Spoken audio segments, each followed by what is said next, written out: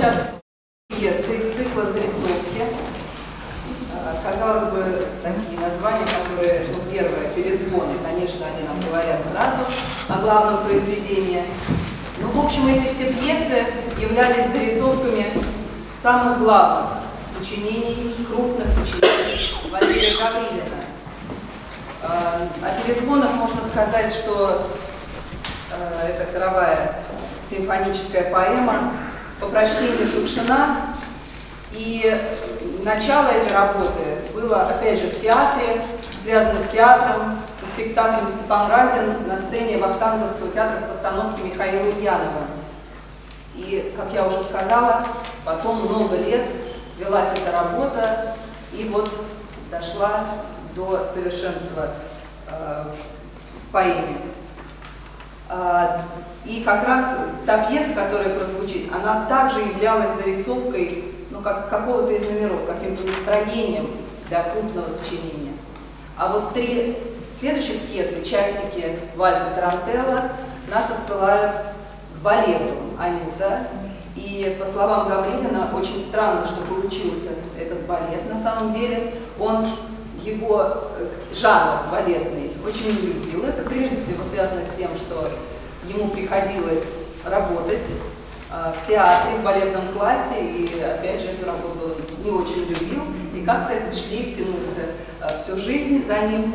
И дальше очень интересный рассказ, как же все-таки родился этот балет. Это знаменитое сочинение, действительно замечательное и мировой шедевр.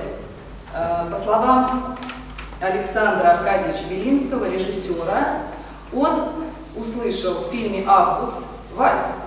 И так как у него уже зрела идея создания русского балета, нового русского балета, и он думал, что это должно быть связано с именем Чехова, ему показалось, что эта музыка как раз необыкновенно подходит и к чеховскому тексту, и с тем, что можно сделать на сцене. Он обратил, обратился прежде всего к Валерию Александровичу Гаврилину, но тот только посмеялся, сказал, я за это не возьмусь, и вообще смешно, что ты в этой музыке обнаружил что-то балетное. После этого Белинский не сдался и обратился к Владимиру Васильеву. Тот, в общем, тоже был очень скептически настроен, но музыку послушал. И Белинский спросил, а что ты слышишь в этой музыке? Он говорит, ну как что, Чехова. Здесь уже пошли судьбоносные дальше сплетения обстоятельств. И э, все-таки они уговорили Валерия Гаврилина взяться, но он сказал так, давайте встретимся, они встретились в Ленинградской филармонии в классах, и я вам буду играть, а вы будете выбирать, что вам понравится. То есть получилось так, что ни одного номера для балета Гаврилин не написал специально. Все это выбрано из его более ранних сочинений, прежде всего вот зарисовках, э, много пьес, э, которые почерпнули да, для балета, и Владимир Васильев, конечно, и Александр Белинский.